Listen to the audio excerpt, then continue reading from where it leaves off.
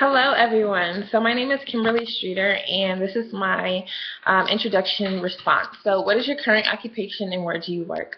I currently work at Pasadena City College. I am an academic success coach for our student athletes.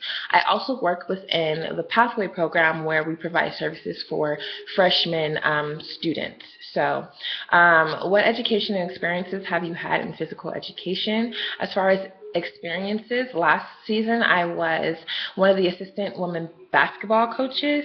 Um, because I started my master's program, I definitely felt like it wouldn't be um, beneficial for me to be a pop-in coach all the time. So I took a step down, and now what I do is I just mentor the girls, and I talk to them if they need help. They can come to my office, and I just give them words of encouragement, and as well as help them build um, just or successful plans for their academic success.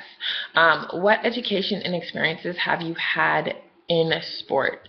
So, I growing up, I played women's basketball pretty much all of my life.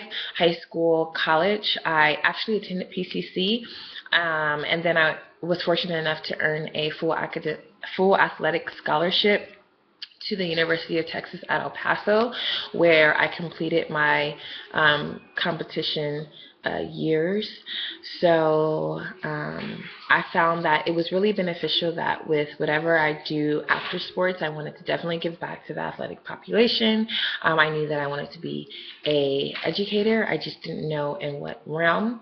Um, after years of soul searching and different type of jobs, I finally found my niche and I finally found what I'm happy to do. And so now I'm just here um, obtaining the proper certifications um, to do to, to continue really.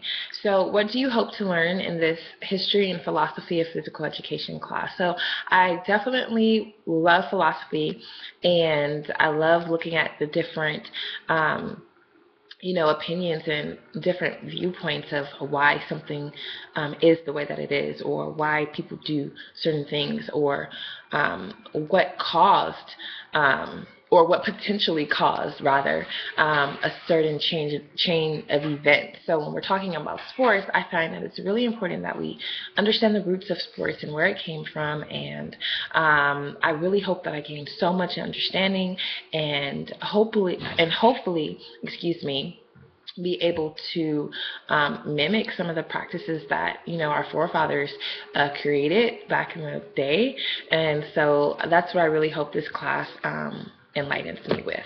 So I um, good luck to everyone, um, or rather, blessings to you all um, during the semester, and can't wait to get a chance to know and meet all of you guys.